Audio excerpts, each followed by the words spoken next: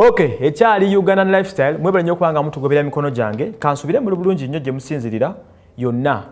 Uh, nga tukyagenda maaso n'omukulu mutabazi paul uh, fresh kid father mm, fresh kid father oyo e, yafuusa serebu alina uh, n'akantu ke yakoze ku youtube ku facebook akasasanya ensi yonna nga yayita tata fresh kid celebrity. Infact mu bintu kubityo yafunyemu ennyo byasize okusanyukira agamba nti afunye erinnya by the way ensi bayetemumanyi naye kati emuyize wabula akyagenda maaso n'okuba nga awanda muliro ofuna okuba nga yafunye n'emiliyoni esatu okuva mu mafiina tatudde tazikiza.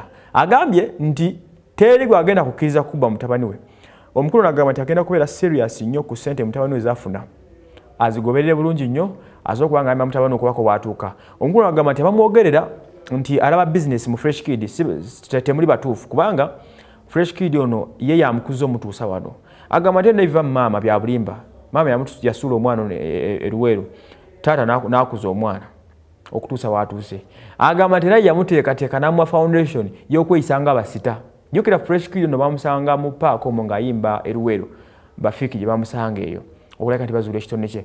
Kati ffe ne tukiraba nti taata yali mulagajjavu naye taata avudde nedefendinga naga ti bali bulagajjavu nabaleka nga bagendenga ne muganda omukulu omwana nga muteekerateekera kufuuka sita byonna byemula bagadde maanyi gange temukyewunya taata oyagala okwezudya okitegedde. Nagamba nti kati ngaomuzadde ayagaliza mutabani we ebirungi byereere era agenda kubaawo buli kimu akigobera emitendera agenda okumaliriza nga omwana we afuuse ekyo kyagala okuba nga afuuka. So yenyumiriza nnyo mutabani wo agamba nti teri amusinga kwagala mutabani we era ayagala nnyo mutabani we. Bweyongedde okubuuzibwa ku nsonga z'okubeera nga anaasigala nga akyagoberera ebifo byonna gye bagenda okuyimbira. Nga agamba nti nga ye taata yalina okusalirawo omwana ekyokukola. Yagamba juzi nti n'omwana etazanya nakuzanya nga babeera enaggulu naye kati mumwana yakyusaami atandika okufuluma katazanyako ne banne wabweruweru awo. Naye mm, taata bino noodo obyogera mwana kale yandibadde agirabira ne maneja mpolampola kubanga ejafunire obulamu obulungi. So that is the case. Taata akyagenda maaso n'okuba nga wanda omuliro kuba kati yafuuka wakabi takyateesa. Mm.